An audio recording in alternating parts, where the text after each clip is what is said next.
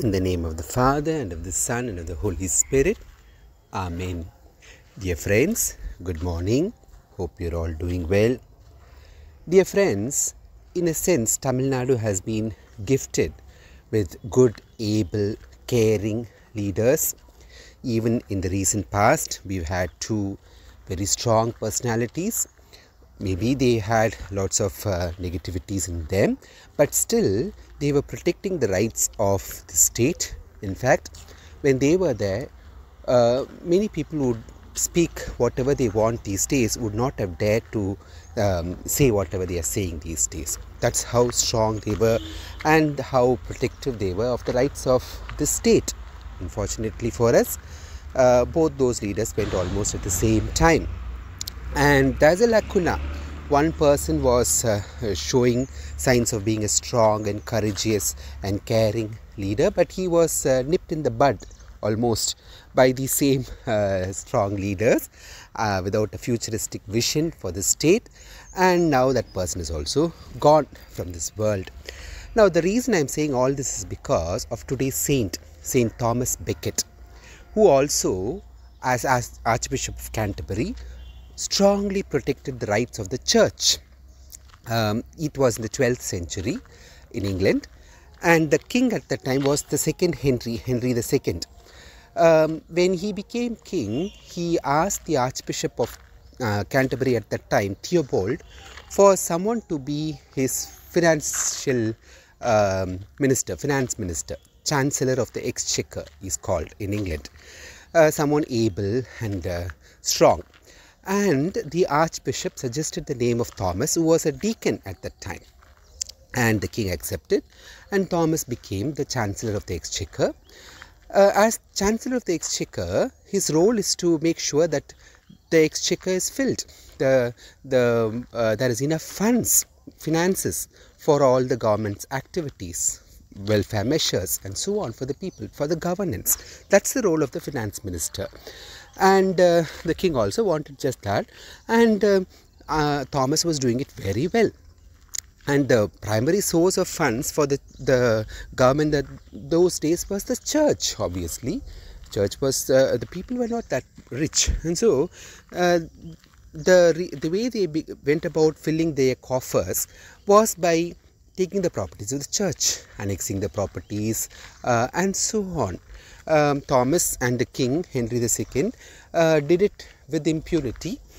And uh, Thomas must have felt that this is for the welfare of the, the people. But the king was living a very, very luxurious life. Uh, the way he went about, and we, we know about it in recent times also. It said that the present day leaders do not wear the same uh, overcoat twice. The types of pens that they use, the type of uh, uh, jets that they fly and so on and so forth the extravagance um, maybe definitely not to this level but the king was also living a very extravagant life. Thomas also had to live that life because he was sharing the same place.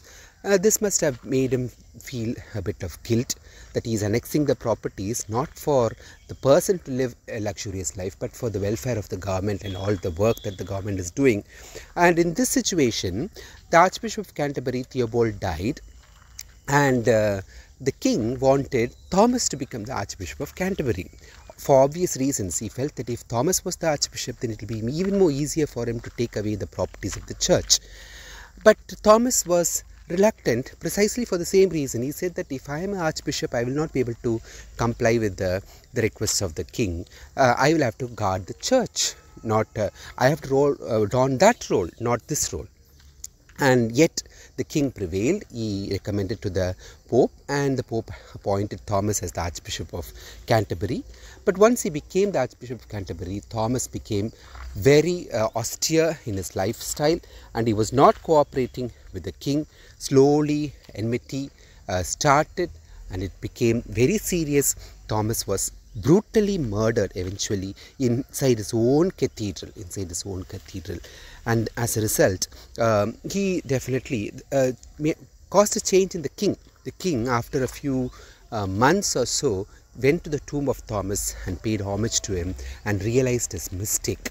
Um, when we celebrate thomas becket we definitely realize the importance of being very responsible with our uh, our duties being totally dedicated to what our role is and doing that role to the full uh, the church also needs uh, its rights and its uh, uh, properties and so on in order to be the light of the world because as both today's readings uh, convey Jesus is the light of the world. And Simeon is delighted that he is at last, at last able to see the light of the world.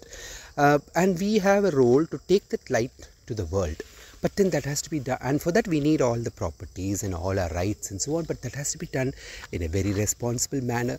It's definitely much better to give some lights to houses which are not so bright than to decorate our churches with great, great, very expensive lights and so on.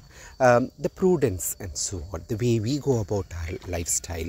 And so, definitely, Thomas um, uh, definitely asks us to look into ourselves and see how we manage our funds and our, our properties and so on, uh, how guarding we are, and how prudent we are in using them also for the welfare of the church's mission to spread Jesus as the light of the world and thereby in, uh, invigorate the people to live their lives well.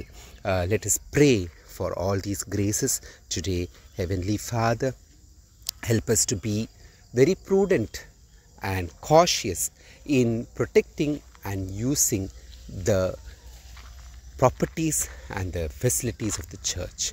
We make this prayer through Jesus Christ, your Son, our Lord, who lives and reigns with you in the unity of the Holy Spirit, God forever and ever.